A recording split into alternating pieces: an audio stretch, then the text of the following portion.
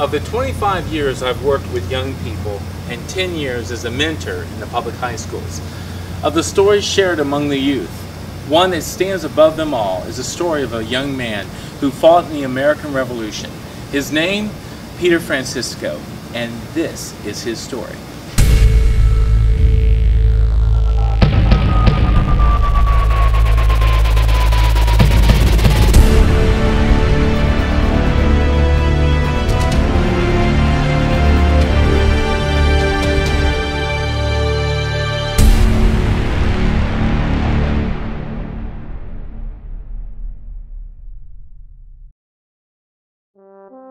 Our story begins in the Azores in June 1760 when Peter Francisco was born. When Peter was five, he was kidnapped by pirates and brought to the American colonies. The ship that carried Peter mysteriously came up the James River and dropped him off on a dock in City Point, Virginia, known as Hopewell today.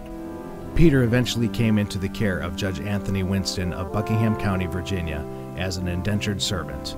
As Peter grew, he became known for his strength and took up the trade of a blacksmith. Winston was also the uncle of a famous patriot, Patrick Henry. In 1775, Judge Winston and Peter rode to Richmond to hear Patrick Henry's famous speech at St. John's Church Give me liberty or give me death. Henry's speech of liberty echoed throughout the room. Peter was encouraged from the speech to join the Continentals in their fight for independence. Even though Peter was already 6 foot 6 inches tall and 260 pounds, Winston felt he was not old enough to enlist. By December 1776, Winston released him to join.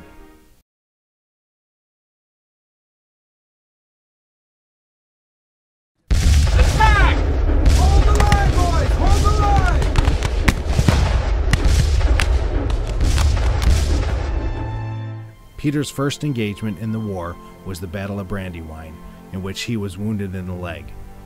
While in the hospital, he was recovering with another war hero, Marquis de Lafayette. Peter and Lafayette became friends, which their friendship endured for years to come. After the war, when Lafayette returned to America, Lafayette requested Peter to join him in his visit. During Valley Forge, Peter was listed among the sick but recovered.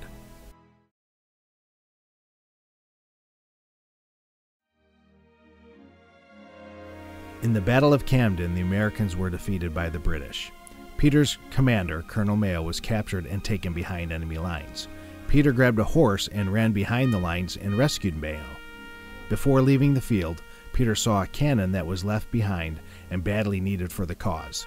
Peter grabbed the 1,100 pound cannon and carried it to safety. The United States Post Office issued a commemorative stamp featuring Peter accomplishing this feat.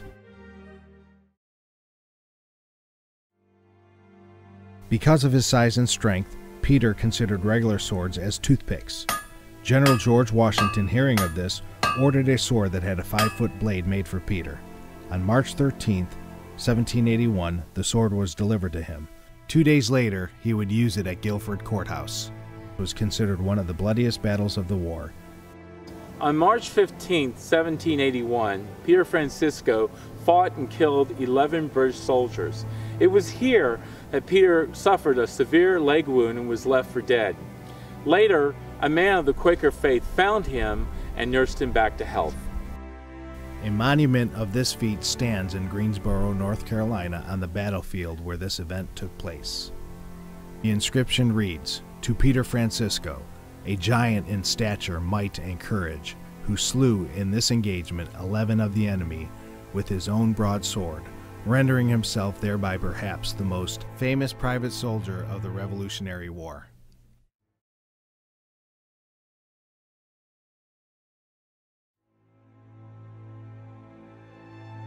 While the British were spreading havoc and desolation in Virginia, Peter, who was 21 years of age, had been recovering from his wounds received at the Battle of Guilford. While traveling, Peter stopped by the house of a Mr. Ben Ward, who lived in what is now called Nottoway County. Nine of Tarleton's cavalry had approached Peter and told him he was to be their prisoner. Seeing he was overpowered by the numbers, he made no resistance. Believing him to be very peaceable, they all went into the house, leaving him and the paymaster together. Give up instantly all that you possess of value or prepare to die. Peter said, I have nothing to give up, so use your pleasure. Deliver instantly those massy silver buckles which you wear in your shoes. Peter replied, They were a present from a valued friend, and it would grieve me to part with them. Give them into your hand, I never will. You have the power, take them, if you think fit. As the soldier was focusing on the silver buckles, Francisco, finding so favorable an opportunity, overcame the soldier and regained his freedom. Later recorded by Peter, he reflected on the following events that took place.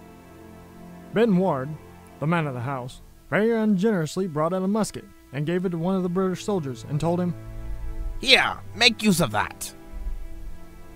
The soldier mounted the only horse they could get and presented it at my breast. It misfired. I disarmed and wounded him. Tarleton's troops of 400 men were in sight. All was a hurry and confusion, which I increased by repeatedly howling as loud as I could. Come on, my brave boys!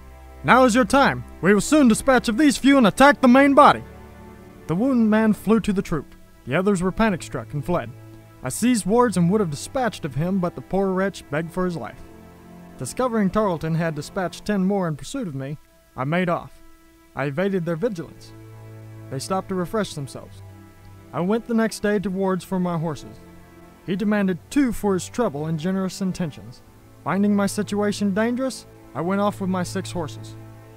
I intended to avenge myself of Ward's at a future day, but Providence ordained that I should not be his executioner, for he broke his neck from a fall from one of the very horses.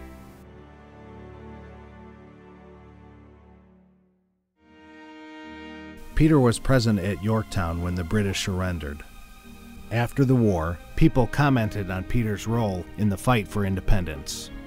Without him, we would have lost two crucial battles, perhaps the war, and with it our freedom. He was truly a one man army. Peter married three times and was twice widowed and had five children. Throughout the remainder of his life, Peter was considered one of the greatest men of his time. Sadly, his exploits were forgotten. One of the purposes of this film is to provide true heroes at a time when our generation needs them. Here in Shockoe Cemetery, Richmond, Virginia, we pay our last respects to the great American Revolutionary hero Peter Francisco, who died January 16, 1831.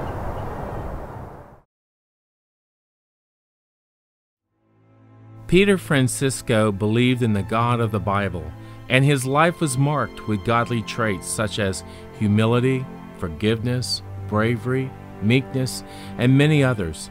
Peter's life was an example of true Christian character.